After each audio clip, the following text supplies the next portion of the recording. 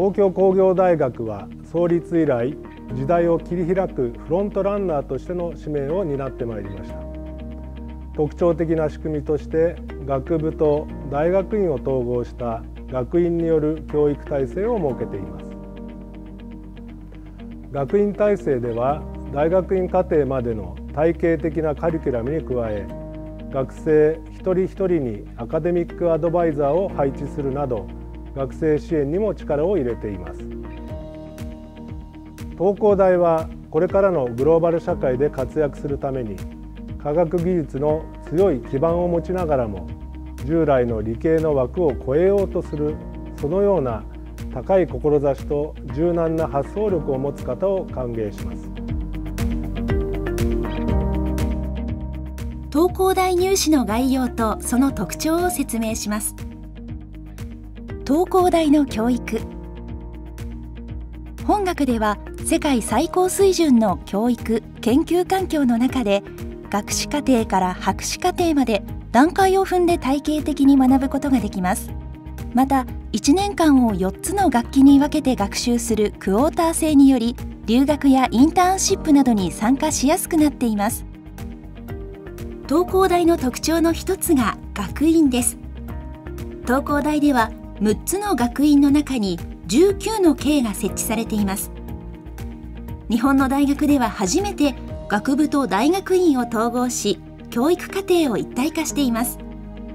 これにより修士修了博士修了までを見通して学習することができます。入試の概要。東工大では科学技術への知的好奇心や探求心と社会に貢献したいという志を有しその基本的概念や基礎知識とそれを活用できる力を身につけた人材を求めます。また専門力に加え教養力コミュニケーション力展開力を求めます。各学院のアドミッションポリシーはホームページでご確認ください。入学試験の種類は左側の一般選抜前期日程。そして右側の学校推薦型選抜総合型選抜に大きく分かれます。前期日程は募集人員の9割を占め全学共通の試験問題で実施します。これに対し学校推薦型選抜総合型選抜では各学院のアドミッションポリシーに即した人材を学院独自の形式や問題で選抜します。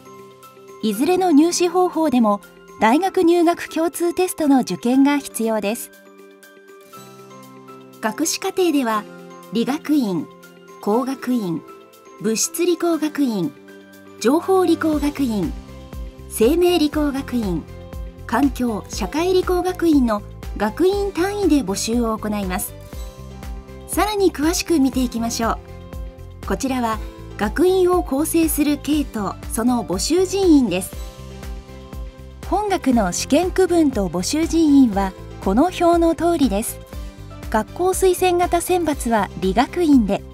総合型選抜は理学院以外の5つの学院で行われます。環境社会理工学院の総合型選抜は A、B、C に分かれており K の単位で募集します。入学後1年間は学院に所属し幅広く学びます。2年時には K を選択します。2年時に希望や成績などに応じて K が決まります。各 K の受け入れ可能人数の合計は学院の1年時の募集人員よりも大きくなっており皆さんの希望をできるだけ受け入れられるよう配慮されています。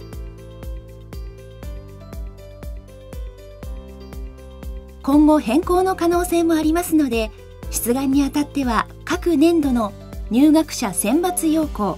募集要項を必ず確認してください。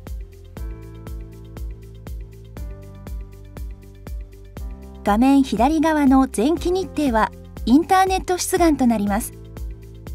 画面右側は学校推薦型選抜と総合型選抜の日程です。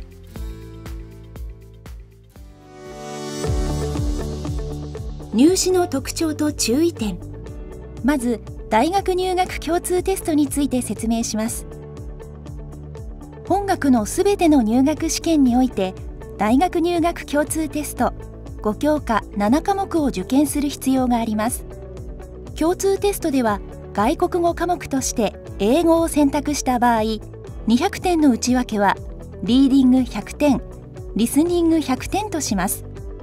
なお英語を選択しリスニングを免除されたものはリーディングの配点100点を200点に換算した得点とします。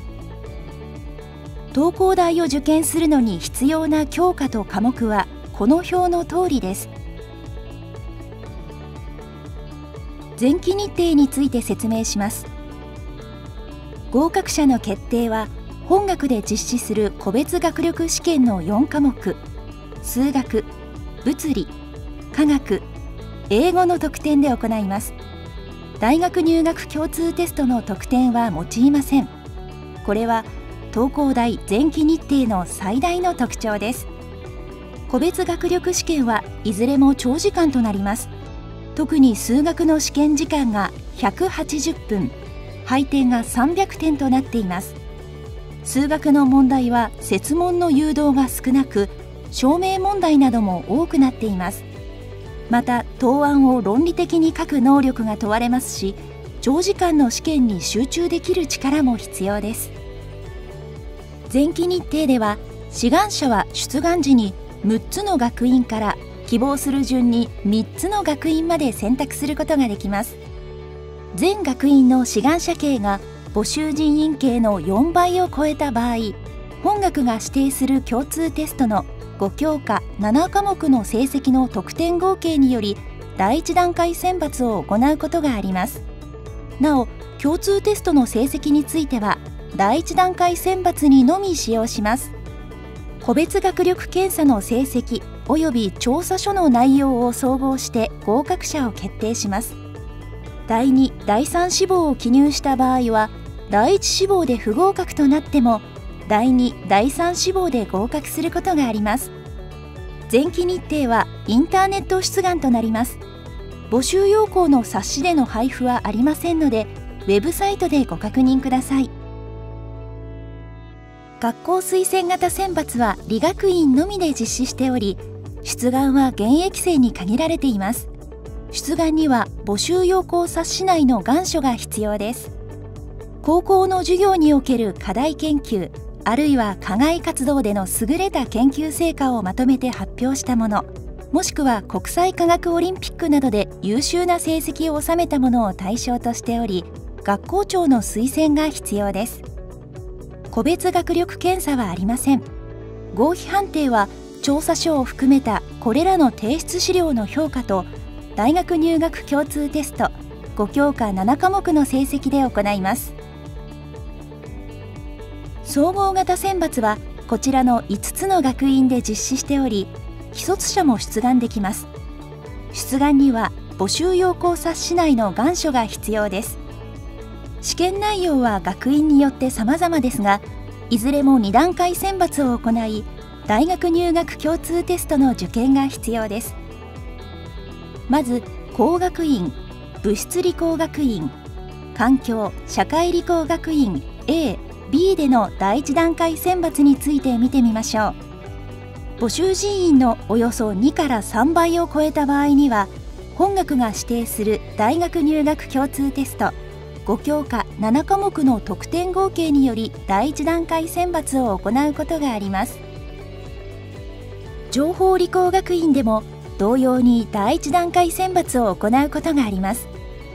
第1段階選抜の判定では活動実績報告書の内容を重視します。大学入学共通テストの得点は基礎学力の判定のために用いおおむね650点以上の得点かどうかで判断します。生命理工学院では大学入学共通テストの得点は基礎学力の判定のために用い志願者が学院の募集人員のおよそ2から3倍を超えた場合には大学入学共通テストの得点と出願書類を用いて第1段階選抜を行うことがあります。志望理由書では活動や研究の実績など自らのアピールを含めてください。環境社会理工学院 C 融合理工学系では募集人員のおよそ2から3倍を超えた場合には大学入学共通テストの得点と志望理由書などの提出書類により総合的に判断し第1段階選抜を行うことがあります。大学入学共通テストの得点は基礎学力の判定のために用いおおむね700点以上の得点かどうかで判断します。そして第1段階選抜に合格した者に対して第2段階選抜を行います。高校の授業科目をそのまま試験科目とするのではなく各学院の専門分野と関連の深い総合問題を課し合格者を決定します。総合型選抜では筆記試験面接などいろいろな形式がありいずれも受験者の学習意欲と創造性適性を問う入試となっています。入試ガイドに詳しい試験の実施内容と過去問などを掲載していますので参考にしてください。東工大を紹介している入学案内と先ほどの入試ガイドは Web と冊子で入手可能です。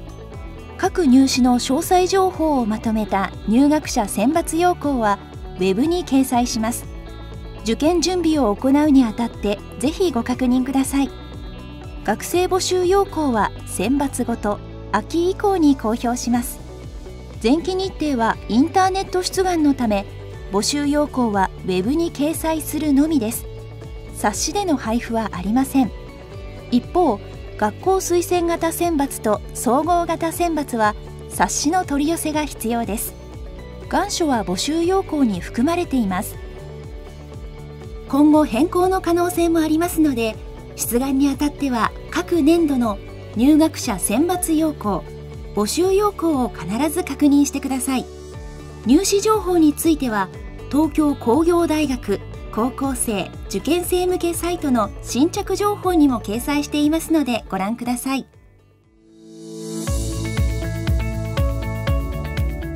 現在世界や地球が抱えている問題は科学技術の進歩によって解決されるものです。さらなる科学技術の進歩には何よりこの分野では誰にも負けないという長所と強みを伸ばしていくことが重要です。東工大の入試は長所を伸ばし生かす入試となっています。理数系の基礎を固めて東工大に入学しさらに強みを伸ばして世界の舞台で羽ばたいてください。